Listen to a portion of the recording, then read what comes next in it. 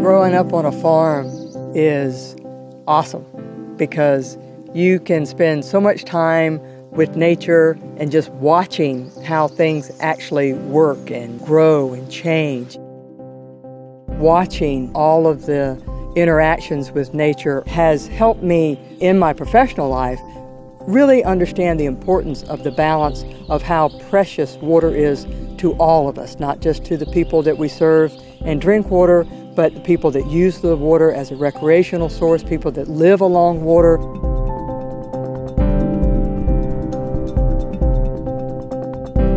People come to Florida for this to enjoy this type of scenery, to come down to this river and canoe down the river, to fish down the river, to live along the river.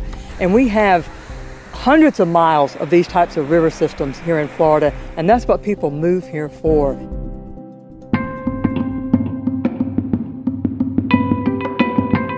In the 80s, in the Tampa Bay region, we had population growth, and also we only had groundwater as our only water supply source.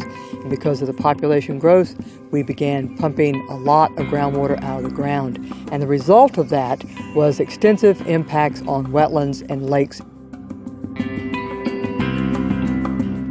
We had subsidence in, in wetland areas. The ground just fell out from underneath the wetland systems trees falling over. A lot of environmental damage was occurring due to that groundwater pumpage. We made a conscious decision to become more dependent upon surface water.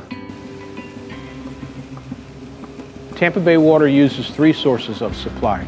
We use groundwater that is pumped out of the ground here in our three county area. We also use surface water, river water, from the Hillsborough River and from the Alafia River. And we use uh, water from Tampa Bay itself. Saline water from Tampa Bay is, is desalinated at, at one of our facilities and pumped into our system and blended with surface water and blended with groundwater.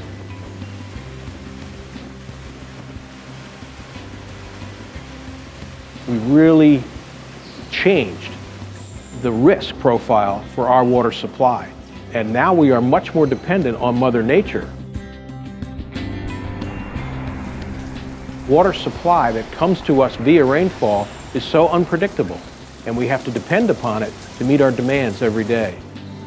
So we pay a lot of attention to the weather. We pay a lot of attention to the changes in weather patterns that we're seeing around the world right now because it can have a dramatic impact on the availability of our major source of supply.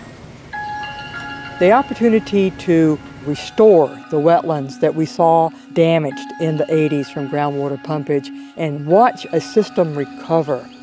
The whole part, not just bringing back the water, but to watch the plants come back to life and the biodiversity. You see the, the birds use the system and the, and the wildlife use the system. We have to work on a balance of how we use water both for human consumption, but also to protect and honor the natural system's use of water so people can fish and live and enjoy all this, this natural beauty.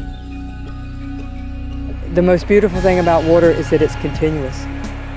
It starts as rain and it appears as river flow and it appears as sweat on my brow, which means it's uh, I'm evaporating and so it's going back into the atmosphere.